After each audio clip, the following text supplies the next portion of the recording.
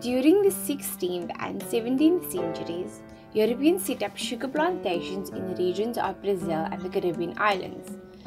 The harvesting and processing of sugar cane required intensive labor which no one would willingly perform. This stimulated the rise of the slave system. Between 10 and 12 million enslaved Africans crossed the Atlantic Ocean to the Americas. The Portuguese were the first to ship enslaved Africans from Angola to Brazil. The English, French, and Dutch followed. No more than a few hundred thousand Africans were taken to the Americas before. The demand for slave labor rose sharply with the growth of sugar plantations in the Caribbean and in North America.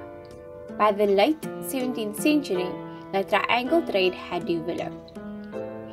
European ships that were loaded with ammunition, textiles, tobacco, and manufactured goods sailed to African slave ports where they traded these goods for captives and sold them to the New World.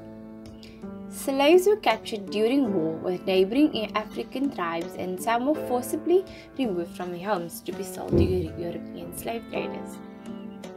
After the, after the African captives had been sold, they went through the Middle Passage, which were notorious for its brutality and the overcrowded, insanitary conditions on slave ships in which hundreds of Africans were packed tightly into tiers. They were chained together with low ceilings, not permitting them to sit upright, and each slave only having four square feet of space. The heat was intolerable, and the oxygen levels became so low that candles would not burn. Africans could go outside on the upper decks for only a few hours each day. Many Africans did not see white people before and thought them to be cannibals, consistently taking Africans away and never returning them. Afraid of being eaten or to avoid suffering, they would commit suicide, jump overboard, or starve themselves to death. Believing in death, their souls would return home. Between 15 and 25 percent of the African slaves bound for the Americas died aboard ships. The autobiography of the West African Equiano is well known for its graphic description of the transatlantic voyage. Those who survived were absolutely dehumanized and treated simply as cargo. Once sold in the market, slave owners would often brand them. The slaves, the lives of slaves were dominated with work, terror, and more work. Slaves did all types of work but in the Caribbean and Brazil, majority worked on plantations.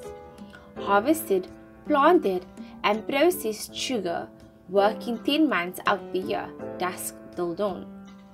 Fertilizing sugarcane required slaves to carry baskets of 80 pounds of manure on their heads up and down rough terrain. Harvesting the cane, speed was important. Once cut, the sugar sap would go sour within a day. Slaves would often work 48 hours straight during harvest, with no rest in humid sugar press houses. Some slaves caught their hands in rollers, and the overseers kept a hatchet on hand for amputations. Given the living conditions in Brazil, slaves in late 18th century would live until the age of 23. In the USA, living and working conditions were relatively better, meaning more slaves were being born than dying.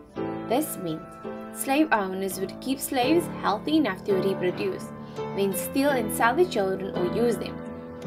This explains why the percentage of African slaves imported from Africa to the USA is small in comparison with Caribbean and Brazil, their descendants making up a significant portion of the US population.